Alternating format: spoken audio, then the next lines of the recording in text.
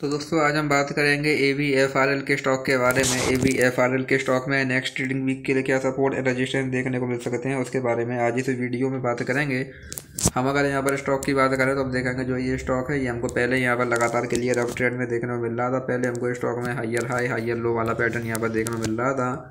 लेकिन फिर स्टॉक ने यहाँ पर रजिस्टेंस लिया, जिसके बाद हमको यहाँ पर स्टॉक में गिरावट देखने को मिली।